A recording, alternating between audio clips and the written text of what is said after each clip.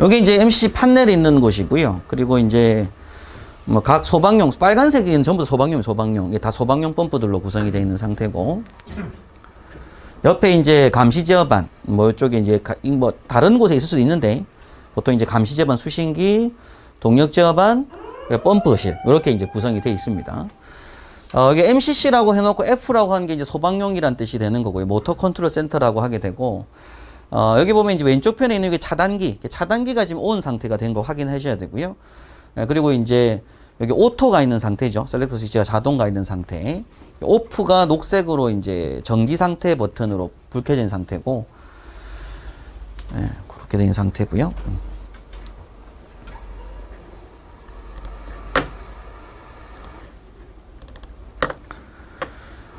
그래서 이제 이제 각 옥내소화전 충압 펌프, 뭐 예비 펌프, 뭐 주 펌프라고 했을 때 뭐 충압 펌프하고 주 펌프, 예비 펌프 연결돼 있는 지금 토출 측에 요 배관을 이제 좀 이따 보게 되면 이렇게 다 연결이 돼 있습니다. 배관 연결돼 있는 상태에서 이제 순화 어, 기동용 수압개폐 장치도 배관이 연결이 돼 있는 상태죠.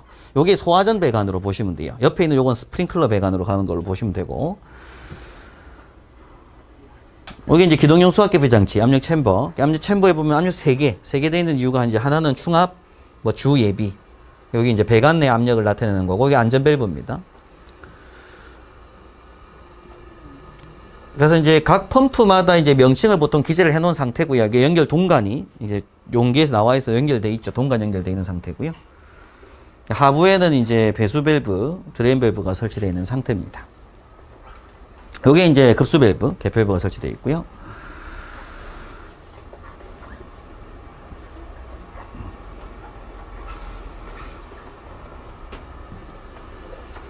이제 여기 있는 요 압력 스위치 이제 카바를 열어봤을 때 위에 여기 나사 두 개가 있는데 하나가 이제 range 하나 diff 조정하는 조정 나사가 위에 두 개가 있고요.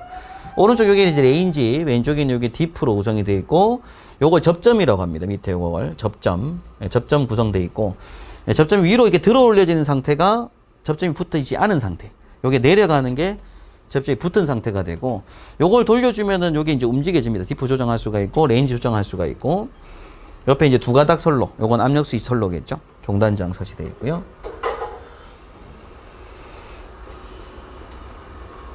네, 여기 이제 뭐 지금 전압 측정하는 건데 뭐 DC 24V 전압 투입되고 있는 상태고요. 예, 수신기에서 도통 시험 하려고 종단 어, 종단 저항도 설치가 된 상태입니다.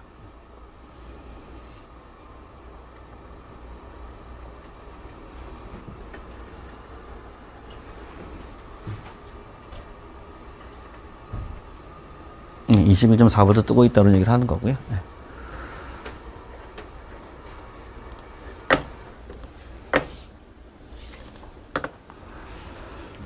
그럼 이제 성능 시험 배관 쪽인데 어, 충압 펌프 쪽에는 성능 시험하고 순환 배관이 없고요. 예, 주 펌프 예비 펌프 쪽에는 옆에 있는 요 배관이 이제 순환 배관. 파란색 relief 배관 여기 순환 배관.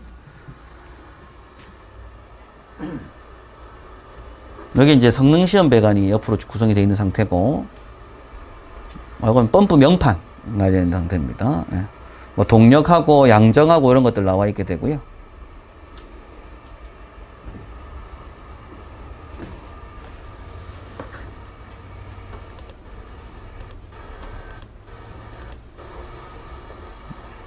지금 보신 여기 이제 성능 시험 배관으로 가운데 유량계, 어, 개표 밸브, 유량 조절 밸브 개념으로 돼 있고요. 이게 뭐 순환 배관 설치가 돼 있고, 요게 이제 토출식 압력계, 펌프 토출식 압력계입니다. 네.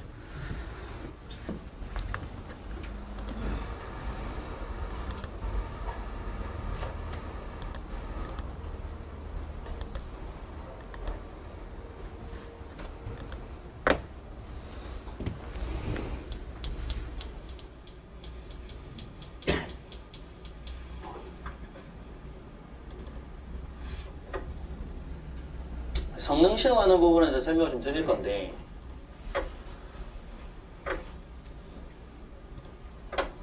어, 성능 시험 관련된 부분에서 일단 먼저 개통도부터 그림 그리셔야 돼요. 그래서 여러분께 성능 시험을 준비하겠다라고 하시게 되면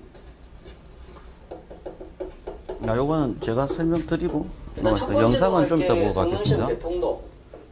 제가 영상 때문에 영상을 못 보여드려가지고 영상을 제가 안 되고 오는 바람에 아, 일단 이제 바로 설명드리고 펌프실 보셨으니까 예. 제가 이건 영상 조금 편집해서 넣어볼게요. 이제 순환 배관이 있죠, 그죠? 성능시험 배관 옆에 달려 있어. 뭐 제가 지금 영상이 보니까 삭제된 바람에 다시 구해야 돼가지고. 예.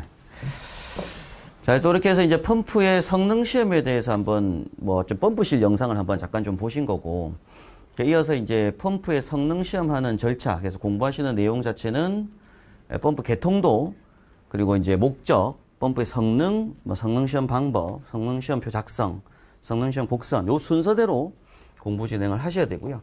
그래서 먼저 그림이 이렇게 그려진 상태에서 어, 지금 여기다 이제 실제 출제를 할 때도 보면 이게 3회, 5회, 7회, 10회, 17회, 19회 출제가 됐는데 계속 출제가 될 겁니다. 앞으로도. 계속 출제가 될 문제인데 실제 출제원들은 그림을 그려놔요. 보통 그려놓고 그린 상태에서 밸브에다가 번호를 다 매입해 놓고 이 표기된 밸브 번호를 이용해서 어떤 답안 작성 그리고 또는 이제 이 전체적인 답안 작성 순서 중에 빈칸 괄호 넣기 혹은 그 자리에 들어갈 절차 뭐 이런 것들을 보통 기술하는 이런 문제들로 나올 걸로 예상을 하시면 됩니다. 어, 일단은 먼저 여러분께서 백지에다가 이제 준비를 한다고 하면 일단 먼저 개인적으로 그림을 그려놓고 그 그림에다가 밸브 명칭이나 번호를 기입한 다음 그 번호를 이용해서 기술하는 걸 한번 설명을 좀 드리고요. 그래서 이어지는 학습 내용으로 보시게 되면 이제 성능 시험을 할 때 총 세 가지 시험을 하게 되는데 첫 번째가 체절 운전, 체절 압력 측정 시험을 하도록 되어 있고요. 그 다음이어서 전격 운전점 측정, 그래서 100% 성능 시험을 하도록 되어 있고 마지막으로 과부하 운전 측정, 그래서 그 전격 토출량의 150%를 토출할 때에 성능 시험하는 방법 이렇게 총 세 가지가 기술되게 됩니다. 이 세 가지 방법에 대한 게 지금 한 대여섯 번 기출에 출제가 한번 됐던 부분이고요. 자, 그 중에 일단 첫 번째 체절 운전만 실시하는 걸로 보신 거예요. 교재는 현재 체절 운전만 따로, 전격 운전만 따로, 과부만 따로 하는 걸로 이제 교재는 작성이 돼 있는데 제가 좀 이따 판서로 전체 한 번에 점검하는 순서 절차로 해서 한번 같이 한번 써보면서 정리하고 넘어가겠습니다. 자, 일단 1번에 보면 체질 압력 측정인데요. 일단 준비 과정으로 주배관의 개폐 밸브를 잠근다.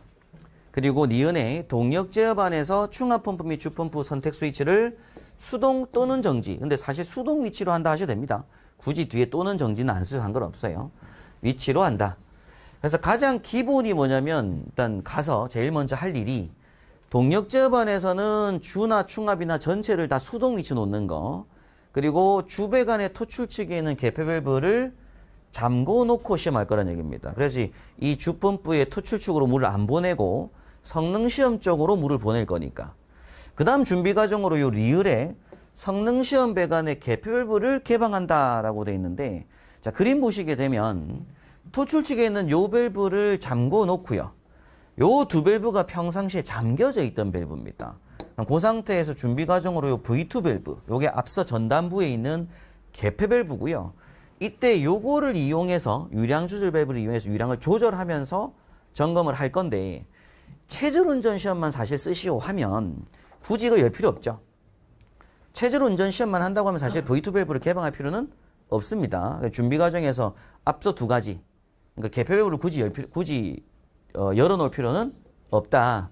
근데 이제 뒤에 이어지는 점검을 하기 위해서는 일단 보통 요걸 뭐 해놓고 열어놓고 요걸 잠궈둔 상태에서 요걸 이용해서 뭐 하겠다고요. 제로, 100%, 150%를 맞추기 때문에 그래서 그 순서대로 지금 작성을 한 겁니다. 근데 실제 시험장에서는 굳이 이게 상략될 수도 있다라는 거 알고 계실 필요가 있고 자 이제 디귿에 나오는 내용이 나오는데 요 순서가 사실상 뭐가 없어요.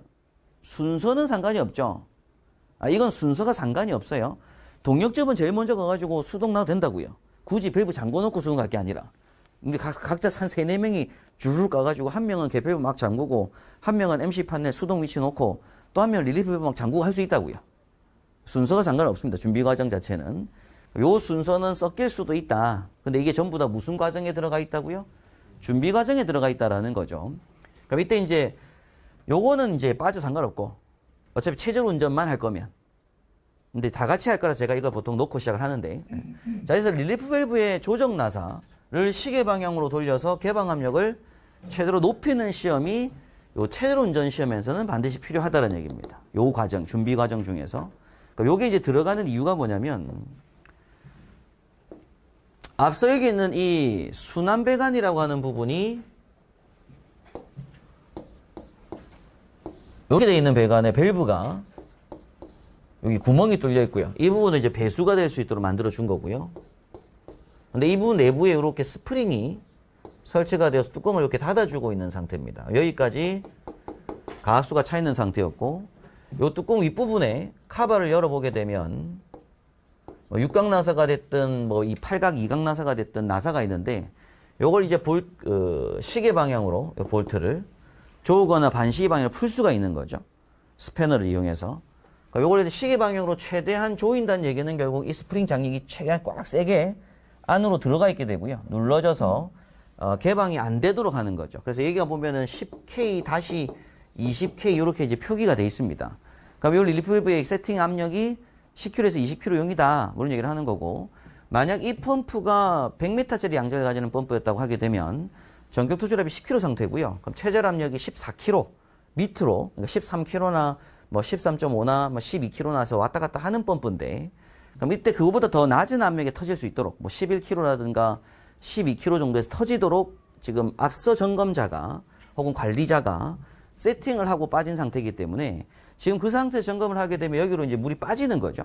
물이 빠지다 보니까 실제로 정확한 체질 운전 측정이 어렵다.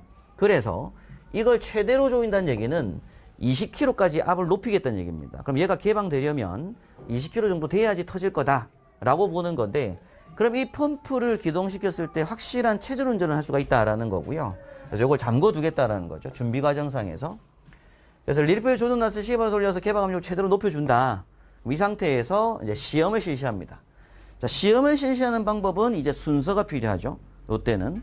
그래서 이때 순서는 그냥 바로 수동 방법에 의해 주펌프를 기동시킨다라고 하는데 사실 그냥 바로 요 내용이 요 자리에 들어가셔도 됩니다.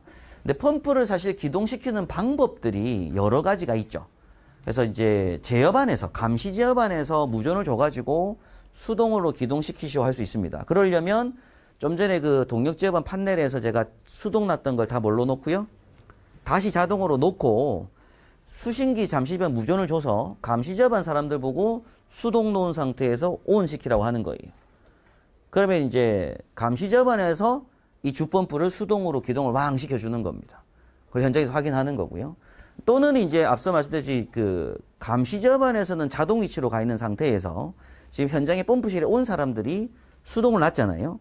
그럼 펌프실에 있는 사람이 뭐 하는 거예요? 판넬에서 수동 ON을 눌러주는 겁니다. 그럼 펌프가 윙 돌 거고요. 근데 이때 다시 말씀드리지만 감시 제어반이 수동 위치에 나와 있으면 안 된다고요. 한쪽이 자동 넣고 여기 수동 놔야지 기동을 할 수가 있도록 되어 있습니다. 한쪽이 자동 상태가 돼야 돼요. 그걸 이제 확인하면서 이제 기동시킬 수가 있고 또는 이제 둘 다 뭘 놓고 자동을 놓고 둘 다 자동을 놓은 상태에서 누군가 한 명이 압력 챔버에 있는 압력 스위치를 뭐예요 강제로 접점을 붙이든지 뭐 쇼트를 시키다든지 해서 동작시킬 수도 있겠죠. 주펌프의 자동 기동을 시킬 수도 있을 겁니다. 그런 기동 방법들이 여러 가지가 있는데 일단 그 중에서 가장 기본은 뭐 한다고요? 제일 안전하기도 한 거. 그래서 이제 동력 제어반에서 그냥 수동으로 기동시킨다. 이게 수동 기동 방법이라는 얘기입니다. 그럼 수동 기동을 시키면 바로 뭐가 된 거예요? 이제 요거 다음은요. 그냥 체중 운전인 거죠. 아, 이때가 체중 운전인 거예요. 그럼 이어서 보시면 그냥 토출 측 압력계 지시 바늘의 최고치가 전격 토출 압력. 이 전격 토출 압력이란 펌프 명판에 양정이 있는 값인데 그거의 몇 프로? 140% 이내인지를 확인하면 되겠죠. 더 이상 올라가지 않고 이렇게 버티고 있는지 그걸 확인하는 게 체중 운전 된 겁니다.